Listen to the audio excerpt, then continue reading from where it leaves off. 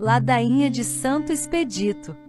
A ladainha de Santo Expedito é uma poderosa oração, que pode ser rezada para resolver problemas pelos quais um empreendimento está passando e resolver situações de grande importância e urgência em nossas vidas. Com a fé na intercessão de Santo Expedito, aquilo que parece não ter uma solução tende a se resolver rapidamente. Ladainha de Santo Expedito. Senhor, tende piedade de mim. Jesus Cristo, tende piedade de mim. Senhor, tende piedade de mim. Jesus Cristo, ouvi-me. Jesus Cristo, escutai-me. Pai Celeste, que sois Deus, tende piedade de mim. Deus Espírito Santo, tende piedade de mim. Santa Maria, Rainha dos Mártires, rogai por mim. Santo Expedito, invencível atleta da fé, rogai por mim. Santo Expedito, fiel até a morte, rogai por mim. Santo Expedito, que tudo perdeste para ganhar a Jesus, rogai por mim.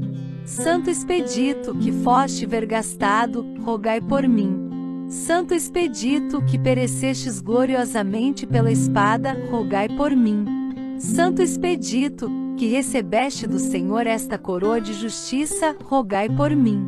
Santo Expedito, patrono da juventude, rogai por mim. Santo Expedito, socorro dos escolares, rogai por mim.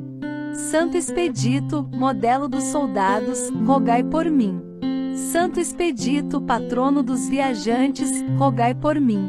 Santo Expedito, salvação dos doentes, rogai por mim. Santo Expedito, consolador dos aflitos, rogai por mim. Santo Expedito, apoio fidelíssimo dos que esperam em vós, rogai por mim.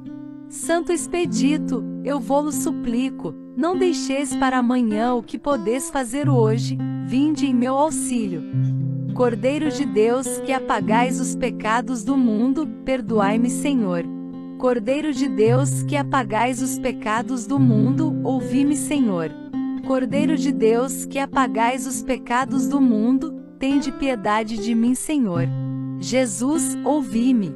Jesus, ouvi minha oração. Que a minha voz suba para vós.